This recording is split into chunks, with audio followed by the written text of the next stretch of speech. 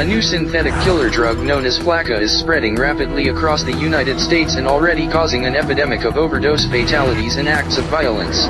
We're talking about Flakka. Flakka. The drug is called Flakka. Some have dubbed it the insanity drug. And it's everywhere. It's been described as the scariest drug in the world. More powerful than heroin or cocaine.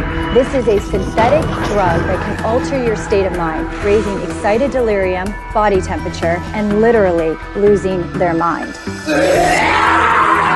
They're all experiencing like superhuman kind of strengths. Where it takes six policemen to hold them down, that's a problem. Psychotic breakdowns, hallucinations, aggressive, violent behavior, cannibalism, and self mutilation, indiscriminate violence. When Flakka takes over, we are living in the context of the end of the age.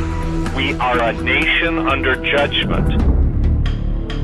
Welcome to stage one of the zombie apocalypse. It's been long theorized that controlled substances can bring people closer to the spirit world. Sometimes, however, what comes out of that experience isn't what you'd expect. And right now, our society is being plagued, dominated by an epidemic of controlled substances. In the 1970s, people were talking about peace and love, but nowadays, people are coming back from bad trips and total psychosis. The number of overdoses are up, as are the cases of total zombification, i.e., demonic possession. The dark side opens people up to such possessions through lack of faith and environmental conditions. And while this isn't so much an issue with people of faith or orthodox practitioners, if your foundation is public education, if your dogma is militant atheism, substances like bath salts or flakka can be the ingredient that pushes you over the edge, an edge that you will never come back from. Weaponized substances such as bath salts and spice are being mixed into just about everything these days e-cigarettes, chocolates, party drugs, with the intended purpose of fucking you up permanently. These are not the days to be experimenting with new things. These are not the days to be a party kid. Nefarious agendas are at play, and just about everything out there these days is being spiked with chemicals